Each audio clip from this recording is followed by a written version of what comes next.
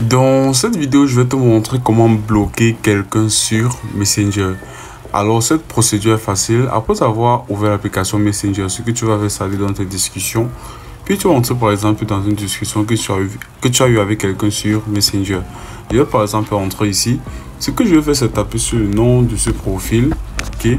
Maintenant, dans confidentialité assistance, tu vas voir l'option bloquer. Alors, tu vas tout simplement taper dessus. ok?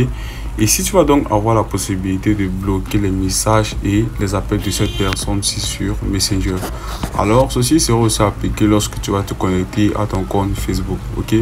Donc, tu vas tout simplement taper sur bloquer les messages et les appels et tu auras bloqué cette personne-ci sur Messenger. Ils ne pourront plus t'écrire puisque là, c'est une page.